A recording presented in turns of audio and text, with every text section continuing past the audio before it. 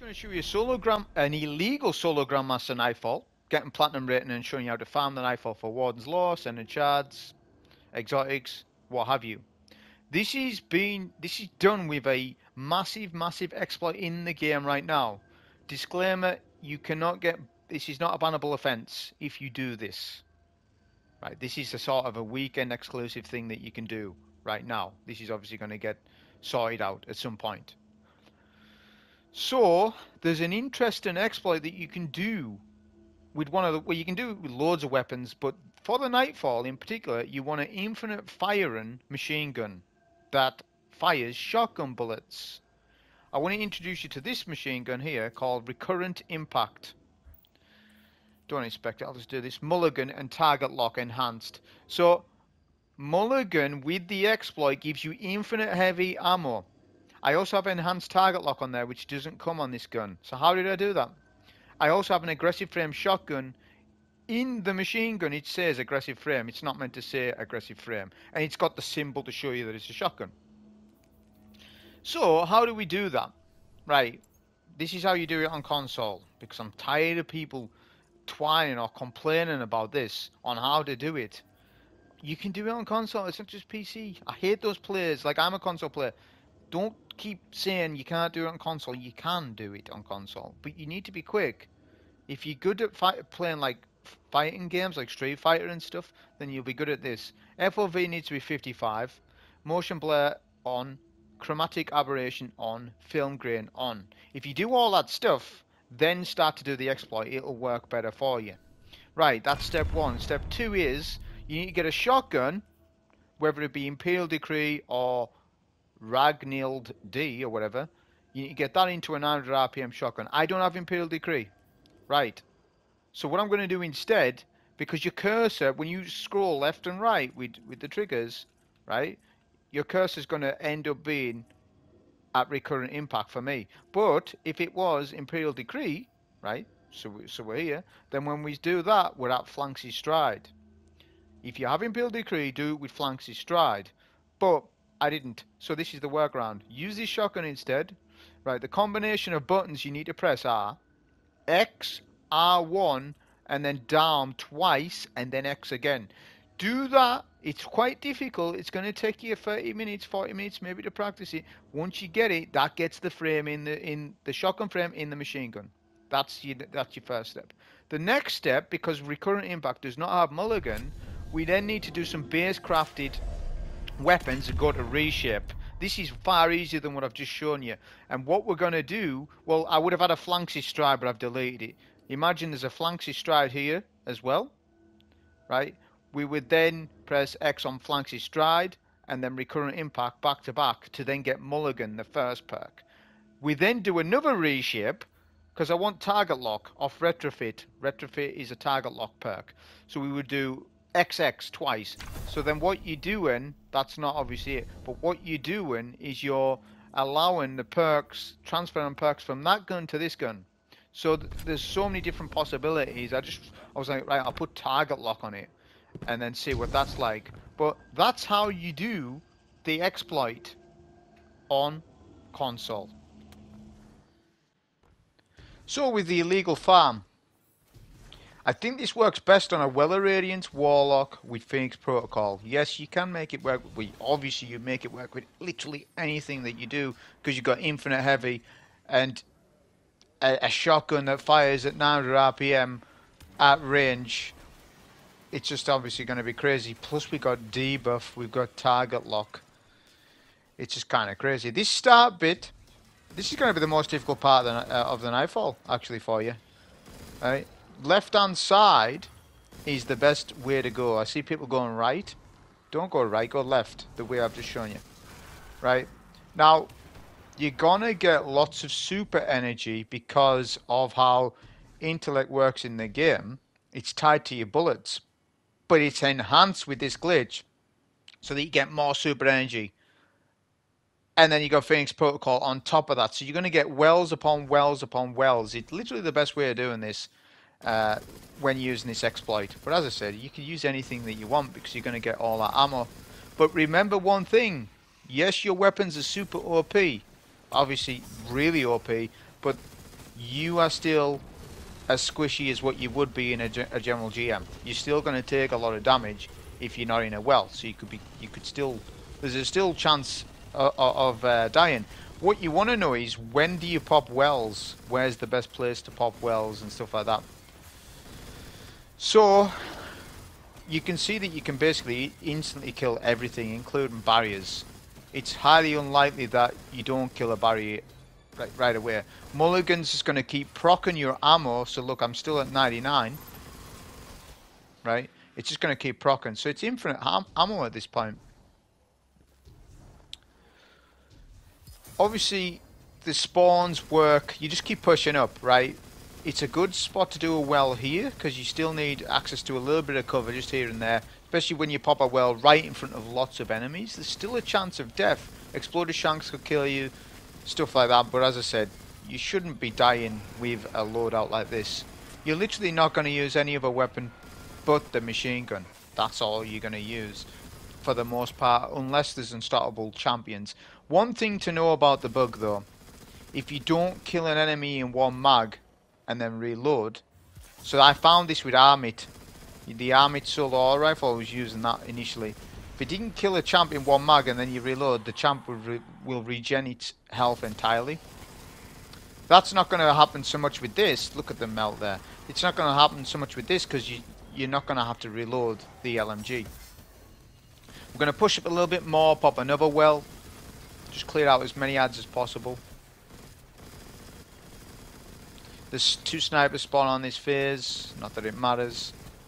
But you can see that the super intellect on the left hand side I'm getting tons of super energy because as I say because of the, the rate of fire the 900 RPM and just the fact that um, it's a shotgun in a, in a machine gun the barrier nearly the barrier almost put a barrier up there right that was crazy I was thinking it was this door stupidly I don't know why I was thinking it was this door it's around the other side I'm being very dumb right now and that's our first bit done. Pretty straightforward. You're just going to be able to melt all the enemies. It's the easiest solo GM. This technically could be the easiest solo GM ever. I can't think of an easier time when there was a solo GM. And even when it was Lake of Shadows, the old Lake of Shadows, even that is far more difficult than what this is. It's not that this GM, it's not the GM's fault. It's the fact that you've got this huge exploit going on right now right? It's not it's not the fact that Euro, although Europa is an easier battleground GM than the other battlegrounds, but it's still I still actually quite like this GM. I don't care what other people say. In this room, we're going to melt the barrier on the right first, pop a well, right, and then we're going to go for the other barriers. They can regen. I think it happens to me here. And the barrier ends up regen and he's actually put a barrier up. That's fantastic. He's debuffed as well. Hmm. Melt both barriers in one well. Got our well back. We need to get an unstop shot. I'm going to repop a well, why not? Get a stun here, see if the LMG can melt from here. It can, easily. And then we'll just melt the rest of the enemies. But yeah, as I say, it's basically infinite ammo because of Mulligan. But if you had the Imperial Decree, then craft the flanks stride. But technically you could have it on fixed odds, you could have it on uh, commemoration, you can have it on any LMG that you want. I don't think there's any limits. But some things won't work. For example, if you try and put a fusion rifle in an auto, it won't work. You put a slug shotgun in an auto rifle, it won't work. I don't know how snipers, I haven't tried anything with snipers. In terms of how they work with stuff. Like can you put a sniper in a in a in an LMG? You you can. It's the question if it works or not. I don't know. I haven't looked at every single possibility because I was busy. See, what I'm sort of mini pissed off about, I was super busy with doing the Sturm damage testing, right? All that stuff. I was busy with that. That video took me quite a while, but whilst I was doing that, I was oblivious to this glitch. Right? So I was like busy with doing my stuff, and, and then when I post my Sturm video, which I was like hoping it would do really well, right?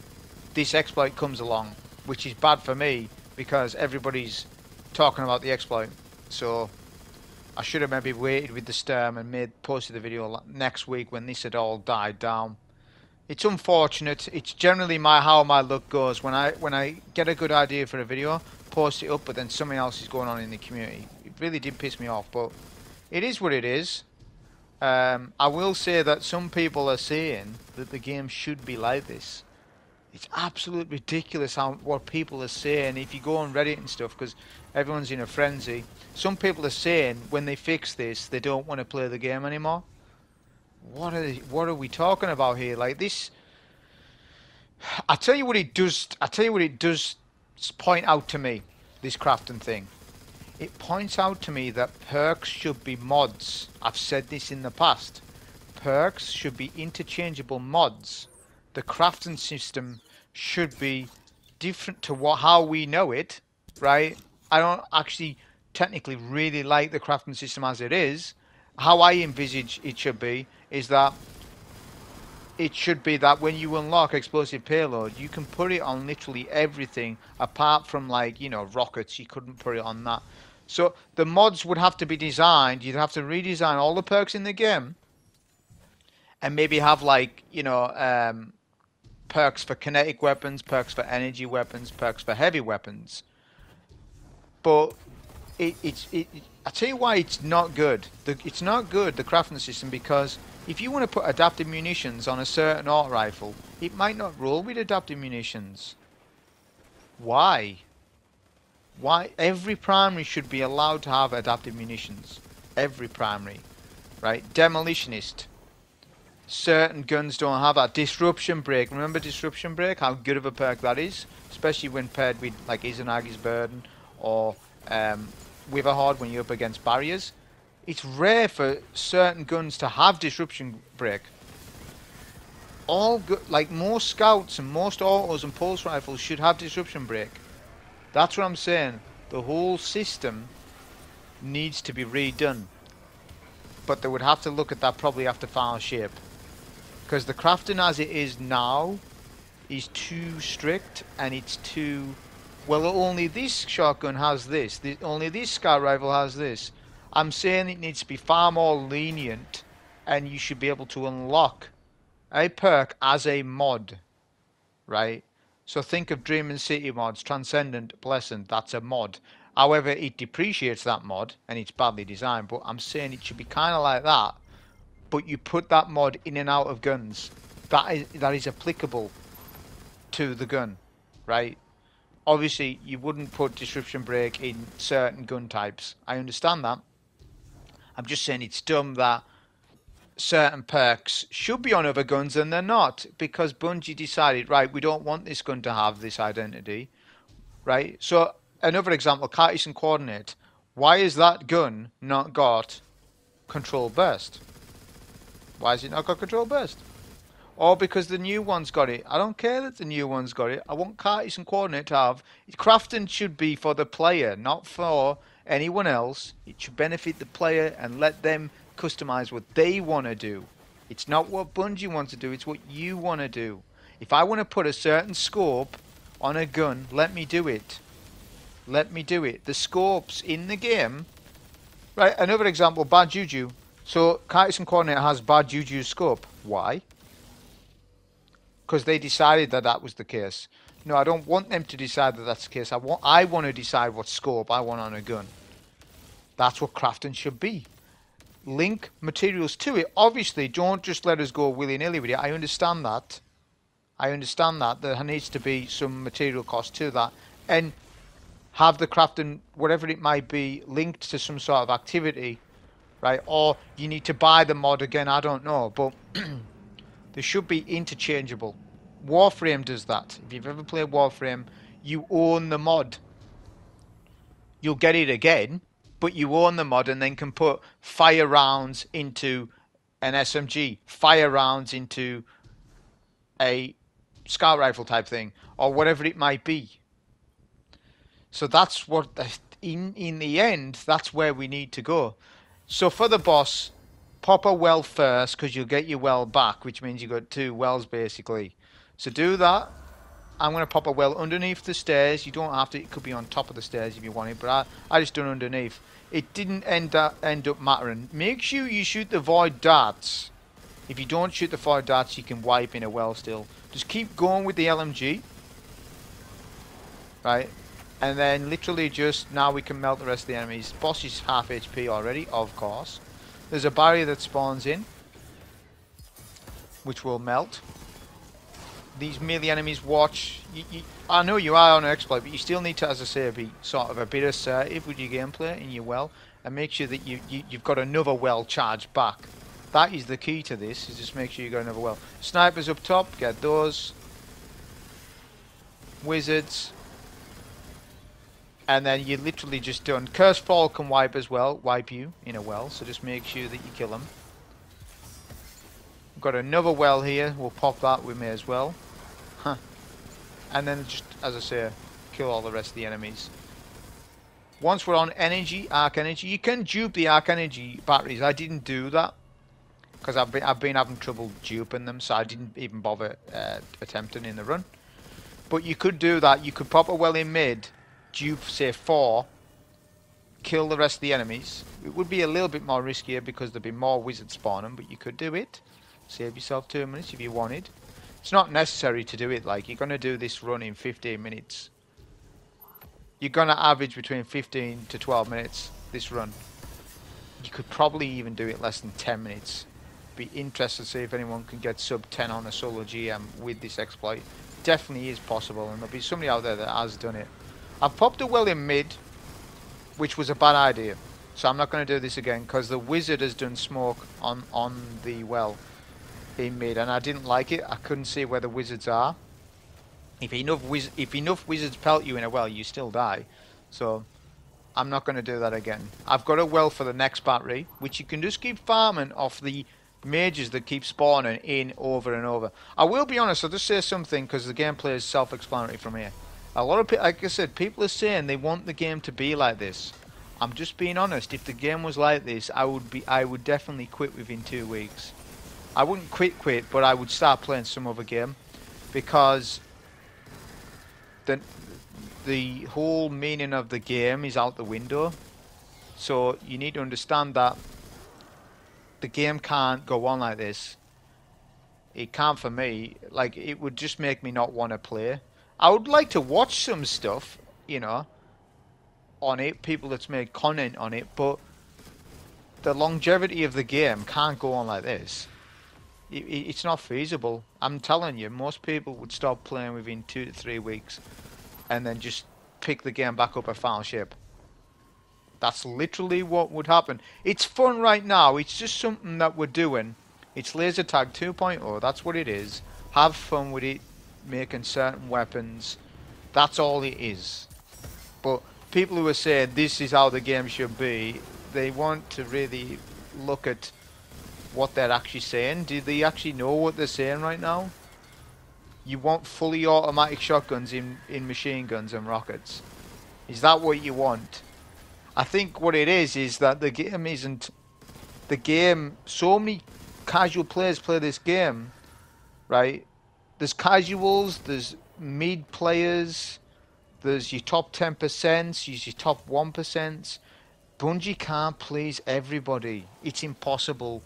Not one game has ever done that where they've pleased every skill set style of players to ever exist. There's never been a game that's done that. Bungie have tried to do that by making it PvP PvE and they've entertained PvP players for a long time. There's still a loyal audience playing PvP after all this long and there's still a loyal audience playing PvE.